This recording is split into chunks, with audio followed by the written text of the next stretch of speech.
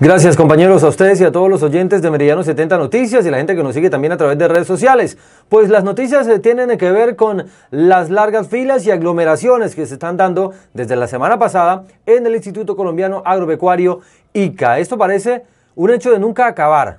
Siempre eh, pasa esto, poco personal en el ICA. Eh, los ganaderos han denunciado que pues no se les da el instructivo adecuado eh, están todos queriendo vender su ganado y esto en el entorno del COVID-19 es muy riesgoso el tema de las aglomeraciones. También han denunciado los ganaderos que tampoco hay las condiciones de bioseguridad, que no está cumpliendo el ICA, los protocolos de bioseguridad allí para la gente que llega a hacer sus guías y sus trámites para la movilización o venta de ganado. Pues nosotros hablamos con el abogado y ganadero, el doctor eh, Guevara Pinilla, Juan José, quien nos habló y se dio cuenta de lo que está ocurriendo. Cuando no es ágil el trámite, se va el sistema y los ganaderos pues prácticamente pierden un día desde sus fincas hacia la capital araucana y lo peligroso de esto también son las aglomeraciones que se están dando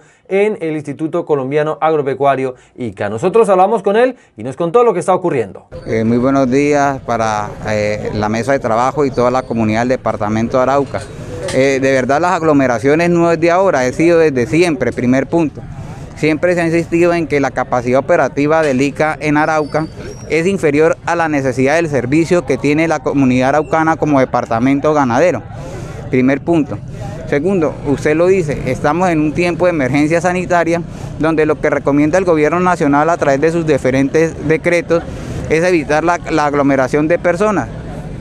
Eh, eh, en este caso, es, entendamos que la actividad económica del departamento de Arauca es ganadera y todos los días se presenta este tipo de aglomeración porque todos los días la gente tiene que vender para buscarse el sustento diario de la comida. ¿sí? Entonces lo que hay que hacer es eh, eh, implementar mecanismos de atención por otros medios que no sean presenciales, ¿sí? que se le facilite eso a los ganaderos para que tengan, no tengan que venir al ICA.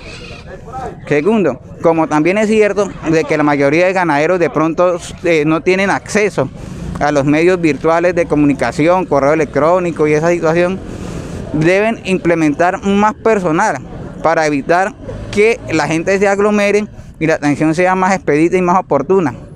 Tercero, eh, el, tema de la resolución que nos impone ahora, que cada vez que se vaya a vender un ganado hay que hacer el muestreo y dura 40 días la finca suspendida, no puede ni comprar ni vender ganado, es una situación que afecta al ganadero, que afecta al productor araucano. El año pasado vino eh, la directora nacional del ICA, se hizo un debate en la asamblea, pero todo eso quedó ahí, que va ahí, no hay soluciones.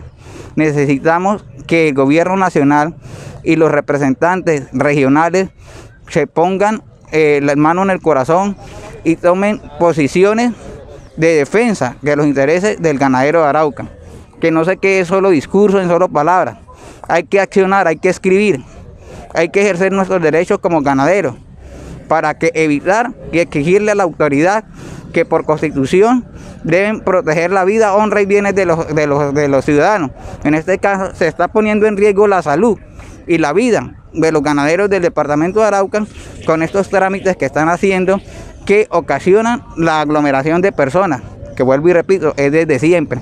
Necesitamos una solución definitiva para que el acto ganadero en Arauca no tienda a desaparecer, porque hay más de un ganadero de antaño, raizal, que está pensando en acabar su acto porque está cansado de tanta tramitología y que no se le brindan las soluciones. Entonces el llamado es al gremio ganadero a que nos organicemos y a que los representantes ejerzan acciones legales para lograr eh, buscar una solución definitiva al asunto que nos está presentando. Tercero, el gobernador, el alcalde y sus autoridades deben ser nuestros representantes en esta situación. El llamado es para que tomen una posición más radical en defensa de los derechos de la comunidad ganadera del departamento de Arauca. Vuelvo y repito, para evitar la proliferación del COVID-19 en nuestra región. Bueno, eh, eh, yo ahorita hablando con algunos personas, ganaderos, Yo decía, bueno, si el muestreo es obligatorio porque así está la norma, el muestreo debería hacerse una vez al año y que el, el, ganadero perdón, quede certificado por el año para comprar y vender ganado. No que se haga cada vez que el ganadero tenga que vender un, una res o 10 reses o 20 reses. ¿sí? Segundo, implementar sistemas de atención virtual.